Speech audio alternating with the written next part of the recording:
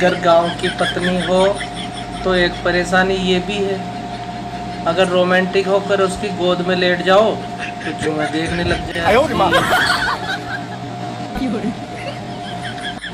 Asian paint सालों साल चले या ना चले लेकिन उसकी बाल्टी दस साल ज़रूर चलती है।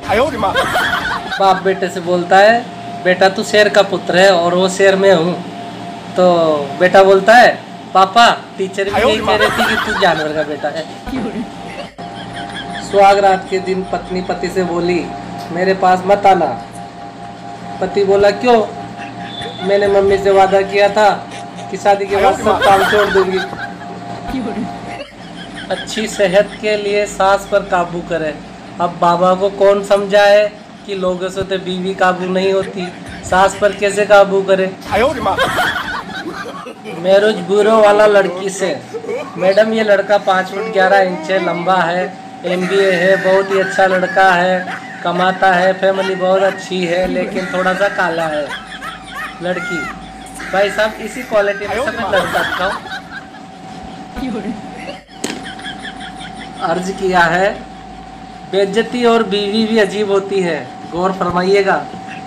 बेज्जती और बीवी भी अजीब होती है अच्छी तभी लगती है जब दूसरों की होती है।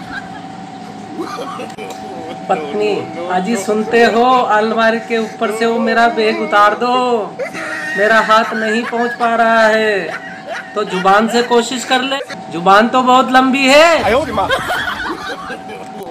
एक लड़की को बहुत दिन से घास डाल रहा हूँ लेकिन वो खा नहीं रही।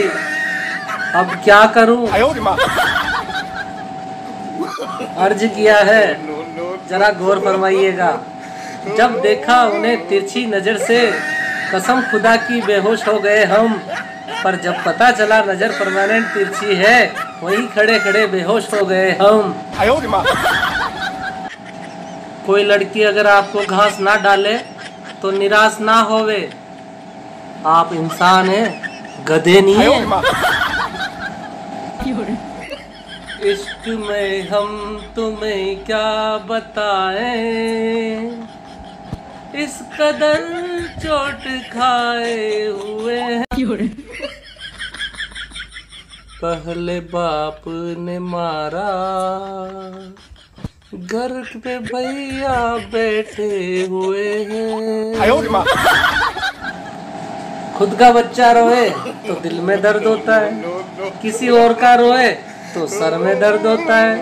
खुद की बीवी रोए तो सर में दर्द होता है और किसी और की रोए तो दिल में दर्द होता है। आदमी अपने घर में दो ही कारणों से खुश रहता है, जब बीवी नहीं हो या बीवी नहीं हो।